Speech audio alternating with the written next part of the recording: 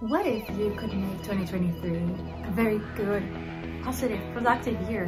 Maybe your best year ever? Well, then stay with me. Let's try to find out how. Well, hello and thanks for clicking here. Um, this video is probably something that I needed and something that I think we all need. Uh, it's already the first week of the year and we're all trying to strive and we're all trying to make it work. Uh, 2022 maybe was your most amazing year.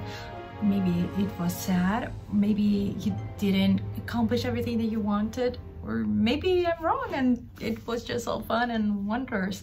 Uh, but whatever the reason you decided to click today, I wanted to let you know that you're not alone and uh, we all struggle with goals and setting um, vision boards and trying to make our lives something that we can go on with, you know? So um, even though this is this is musicians edition, this is just for everybody and it's just my take on whatever I have been researching to make myself better and to be able to cope with life and to find meaning and just make every year something worthy. And I hope it helps you somehow. So yeah the last two years, two to three years have been really tough, not only for you, but for humanity. We're just coming out of a pandemic and it's been rough. It's been rough and it's been defining and transformative and yeah, it's been something that we were not prepared for, but you know, it's something that has proved that uh, we as humans are tougher than we ever imagined. So let's go. Let's go try to make this year something worthy. First, I want to make something clear. I know what people say about New Year's resolution. Everybody wants them. Yes, we do. We write all those beautiful ideas and somehow they just slip through after the first couple months. And yeah, I know it happens. But I also acknowledge the fact that um, there's definitely a cycle that closes whenever a year just passes by. You know, after that, December 21st, something changes in the cosmos, in the universe. So I feel we need to acknowledge that. And we need to understand that life is full of cycles and that, you know, um, whenever they close, it's going to be rough. And whenever they open up, it's another opportunity. And every day is an opportunity to just reimagine yourself, rebrand yourself, and build a life that you want and it's not going to be perfect. It's not going to be all roses because that's not life. But what if we don't dream? Then we don't have anything to just fight for okay? So i want you to keep dreaming So in this process of reinventing yourself or just resetting these goals or just gathering all that energy to just go back to work, just go back to whatever you're going back, you know, in this new year, um, it's very important that we acknowledge something and that is to pause and reflect. We need to understand that a cycle is over. So we need to understand what happened if it was good or bad, what we learned, how did we grow on that cycle. So that is the only way that you can be ready to then move on. You just need to take that pause, reflect, and just take in everything that happened so you can then release it and move on.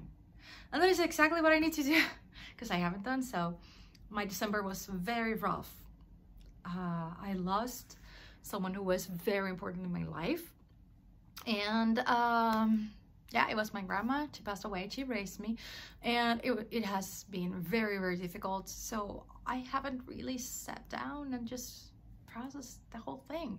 But you know what? This video might be the opportunity for me to just sit and just write the stuff down and understand and be ready for the new year.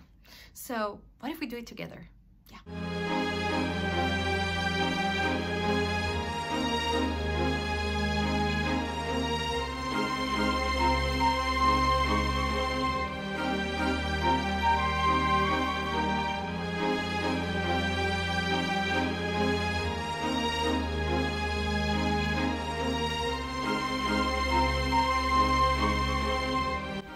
Done. I'm ready. Well, I hope that by now my little writing time uh, invited you to do the same and that you already acknowledge everything that happened in your 2022 and start understanding it better and acknowledging the fact that progress isn't linear.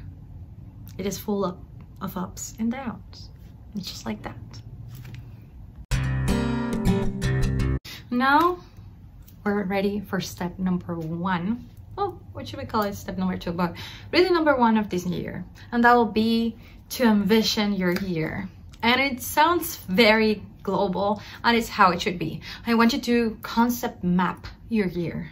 And what is concept mapping? Well, I want you to write down a very beautiful 2023 number and just uh, write down words that you want to describe that year concepts that you want to be associated with that year around that number. And we're gonna do it together.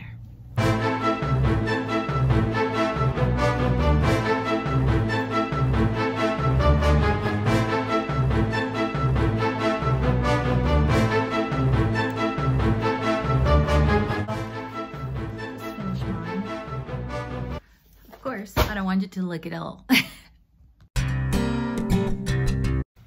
Okay, now we're doing some progress.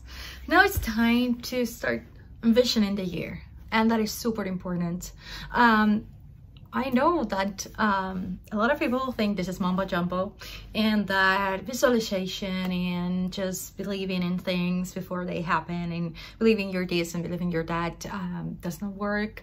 Um, there might be some ultra popularity in those terms but ultimately i believe that the hype is worthy uh, and that truly what you project to the universe you get it back in return.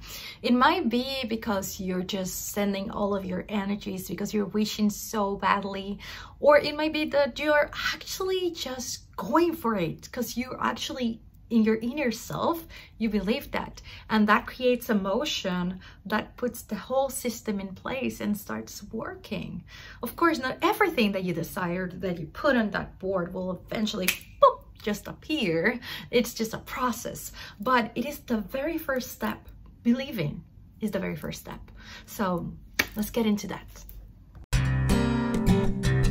So we're in the vision board phase now. And on that vision board phase, I would like to say that unfortunately, musicians, I don't know why, we think that we don't deserve things we think that uh, everything is meant to be difficult and tough and just you know we um, held ourselves um, under very difficult mental situations. I don't know why. Um, and it's very difficult for musicians to just sit down and think about and create a vision board. And But I think that if we did that more often, we'll be happier and we'll be more successful and we'll probably have better careers and more sustainable careers. So yeah, I invite you today to do that. Um, if you're not into cutting things, that is such a girly thing. Even for me, sometimes it is a lot. Um, you can just sit down and envision yourself like in a third person, like from an outer perspective. And imagine what do you want the world to see from you? Which version of yourself do you want to put out there? And how do you want the things to work for you? That is very powerful and very important. If you don't dream, if you don't set those goals, then what guidance are you gonna have? Are you just stumbling through life? So yeah, very important. Sit down, think about that, and write down your greatest aims, your greatest desires, and feel like you already have those. Uh, and imagine those and write them one by one. Career, health, relationships, how do you want to envision music even? How do you want to grow as a person? How do you want to be known for? And so many things. Just write them down. Don't be tough on yourself. Don't make yourself think that it was too much, that you don't deserve that. And if you think that, if you have those um, feelings holding you back of not being worthy, then put an asterisk on that, on that thing that you just wrote, but you're like, oh yeah, sure. No, you're gonna put an asterisk and you're gonna just ask yourself, why? Why I believe that that is not possible? What is holding me back? Am I too realistic or am I pessimistic? So do that for yourself. I'm gonna do it too. Hey, done. Yes. Of course, it took longer than you see in here, but it's done. I finally have a vision of my year and I feel that I can accomplish it, that I, that I, I feel hopeful. I feel like I have a plan. Well, so you have now your vision. You have an idea, a dream about how you want your uh, year to develop, but uh, that's not enough. Yeah. So we went out to chunk it down. We want to create goals based on that. And then to understand the steps, the necessary steps of those goals. Because a goal without action steps without a strategy is just merely a goal. It's just merely a dream. And it's something that we are not uh, ready to achieve because we don't know how to even get there. So that will be step number two. Chunk it down chunk it down into little pieces, into actionable steps. And I know that when you're setting goals, it's very personal, but sometimes you don't know exactly where to start. Um, you don't know um, what to ask yourself about those dreams or how to um, chunk it down. So I know, I know the struggle. Uh, so I have a little list that you can use as a guide that I'll link down in the description. So just make sure to just check it down and download it. It's totally free and it's just to help you out because I feel like we just need to help each other out. And hey musicians, I know, I know you're judging. Hmm, you're saying, why is she doing that? She's like a guitarist. I mean like, why is she talking that much? Who told her? You know, I don't care because I am a guitarist. I am a musician, but I am even more. I am a human being. And one of my goals as a human and as a creator and as someone who, you know, just loves life and loves humans is just to bring joy and enlightenment to the world. So if I can do that in any way possible, then be it. And I feel like we'll need some of this.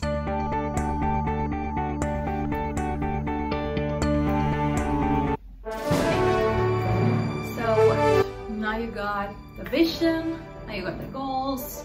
Now what? Well, it goes now to believing. Yes, it goes now to manifesting, which is the next step. And how do we manifest? Well, we manifest by writing affirmations daily. That is how we make it all work.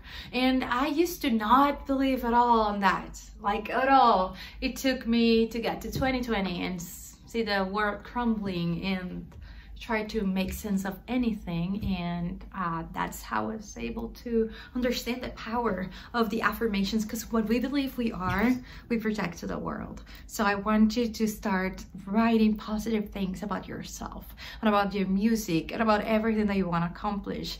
And seeing also the results and seeing what you already have and being grateful for that but not everything is down to just writing things, believing things, but actually you need actions. Yeah, you need discipline. You need discipline and you need to have order and to create systems and processes to keep yourself accountable. That is why so many people fail whenever they set out their goals at the beginning of the year and then it's December and they're like, oh my gosh, I never went to the gym or I never ever practiced how many hours or I never read the books that I wanted or why is my life so stagnant? Well, you didn't follow through. You need to follow through. And that makes a world of difference. Organize yourself. Have a calendar. Set deadlines for yourself. Otherwise, you will never just do the things, you know?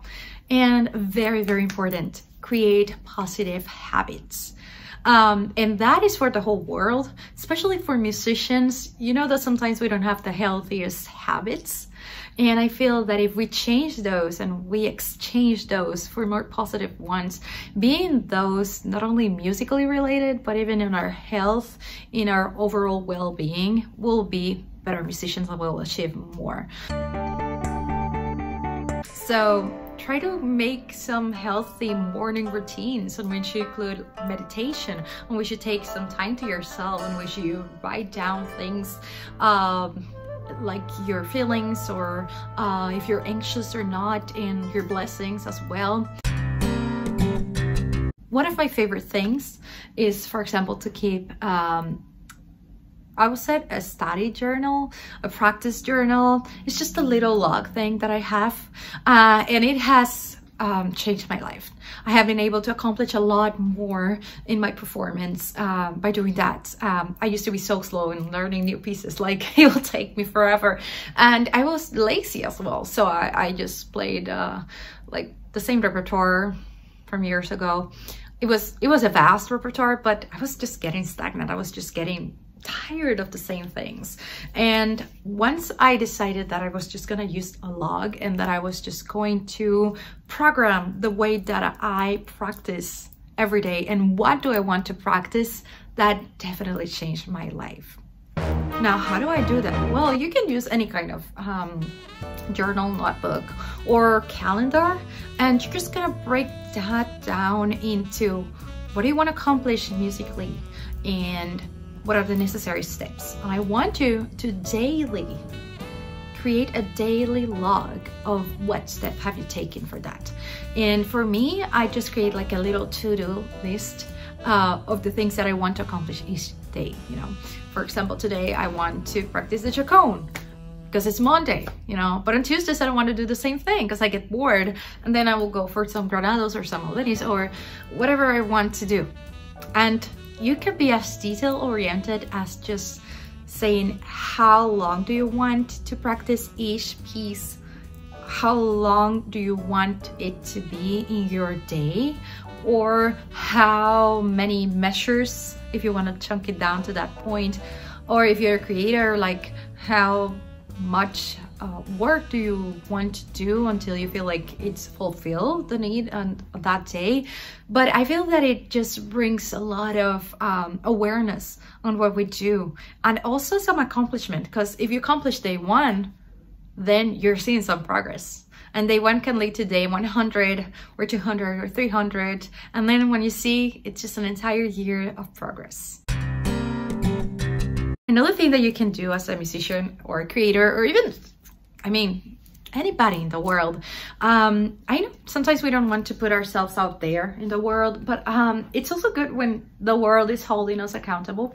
So you can create also a series of posts on social media or even for, you know, your family only or a group of friends when you just um, post a little bit of what you did in the day or you just post a chunk of what was your practice routine or what you achieved. Uh, that will help yourself account accountable. But it's more important than you know exactly that you did it, okay? Don't cheat. So just record five seconds and say, hey, I just did a full day. Yeah, sure. No, because you're just fooling yourself. I mean, you're just, in the end, it's your life. And what you stop doing, you just stop doing, you know? It's you holding yourself back. Another thing that I like to do in matters of discipline is just to um, have like a checklist that I need to do. I, that helps a lot, especially in those days on which we just wake up and we feel like scrambled around because we're humans and there will be days, rainy days like today, uh, that we don't feel like doing anything baby's cold outside and we just want to stay in bed and we just want to do whatever we want. But if we have like a checklist of very important things that we have to go through, like a routine, that would help us move on, get out of bed, get dressed up and actually do something. And yes, I know, not every day is gonna be as productive. There will be days that you definitely don't feel like doing anything and it's okay. Give yourself that grace. Just just know that giving yourself that grace one day doesn't mean that you'll have to give it to yourself every day. Because that, that is the line between being human and being a disciplined human, which is able to achieve more and I feel like have a more fulfilling life. Another piece of advice is get a whiteboard. Yeah, I know, I know. They are annoying, but they they are a constant reminder of what you need to do. Also, it's good to have it around for, I don't know if it happens to you, but usually when I am performing, when I am practicing, a lot of things that, oh, I need to do just come to my mind. So it's good to just have it around, write those things down, brain dump, and then continue. Also, on that whiteboard, you can write down your goals for that practice day, or you can write down any feelings that in, um, any findings that you did on your practice and I feel like it is such a necessary tool. Also it is super uh, important to have it around in a very visible place of your house so it kind of makes you feel bad whenever you see it. It's just like reminding you, hey, you know? So yeah, get a whiteboard. Do some readings. As musicians, we believe that everything that we need to do is just to play and play and play. And no, we need to just have a life outside playing and and to understand life so we can become better at playing. Does that make sense? One of those books that have truly changed my life is this one. Really.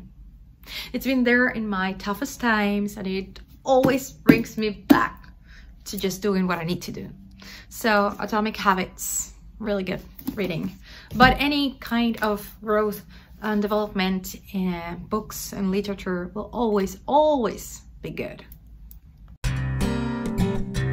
Another tip, uh, be practical. yes, I know. I know that sounds horrible, especially coming from musicians. We're creative beings and we should not be that practical because people think that we live out of air and that the only thing we do is to actually play the instrument all day long, which is not true. If you want to uh, be proficient in music, if you want to achieve something um there's more than just playing the instrument and for all the people out there i mean we barely practice eight hours unless we have a concert like right there. Because we're human beings you know we need to we have other works to do. We have multiple things. We wear multiple hats. That i feel that is like one thing that every profitable musician, every musician that is doing something uh, with their career uh, does. And there's a lot of emailing, calling, following through, following back, and just a lot of um, businessy things that you don't see backstage. So yeah, we don't have that much time. So we need to be really productive about what we do. It is not about eight hours of practice. It's all about maybe 30 minutes of a focused one. It's just taking the best out of whatever the time you have. It's just being fully conscious and practice by starting with the hardest sections. That's it.